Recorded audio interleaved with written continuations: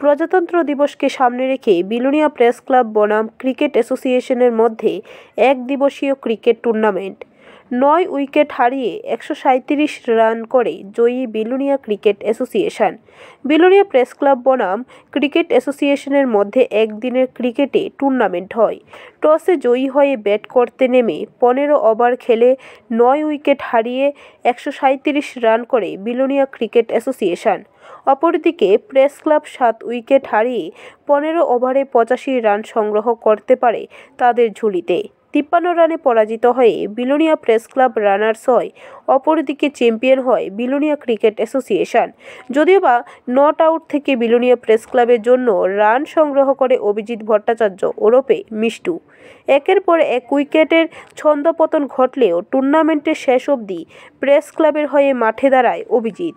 এই cricket tournament অনুষ্ঠিত হয় উত্তর বিলোনিয়া স্কুল মাঠে। প্রজাতন্ত্র দিবসকে সামনে রেখে দক্ষিণ জেলা প্রশাসনের উদ্যোগে অনুষ্ঠিত হয় এই টুর্নামেন্ট উভয় টিমের খেলোয়াড়দের মধ্যে দারুণ উৎসাহ উদ্দীপনা পরিলক্ষিত হয়।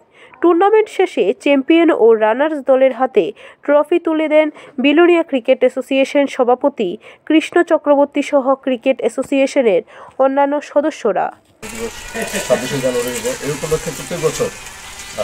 টুর্নামেন্ট হয়। ক্রিকেট ব্যাডমিন্টন ফুটবল অনেক কিছু হয়। তো এই খেলাটা আমাদের কাছে অপ্রত্যাশিত এই কারণে আমাদের কারও কাছে ব্যাপারটা জানা ছিল না। কালকে একটা মেসেজ আসে ডিসির সেক্রেটারি উনি বলেন যে প্রেস ক্লাব ভার্সেস ডিসি একটা ক্রিকেট ম্যাচ আছে। তো আমরা বললাম, হঠাৎ করে আমাদের সিদ্ধান্ত হঠাৎ তো আমরা বললাম যে, ঠিক আছে, আমরা সন্ধ্যের আলাপ করি। আলাপ করার পর সিদ্ধান্ত নিলাম যেহেতু একটা রাষ্ট্রীয় ব্যাপার যাই হোক, তাহলে হার জিত আছে। As a friendly match cricket আমরা খেলব তো আজ এখানে বিলোনিয়া ক্রিকেট অ্যাসোসিয়েশন অ্যাসোসিয়েশনের সভাপতি মহাশয় এখানে রয়েছেন।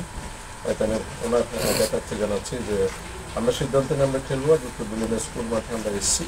আমরা দুটি দল এখানে খেলেছি। সম্পূর্ণ বন্ধুত্বপূর্ণ পরিবেশে আমাদের খেলা হয়েছে খুব ভালো খেলা হয়েছে। তো সেখানে Belonia cricket association bureau report খবর ত্রিপুরা।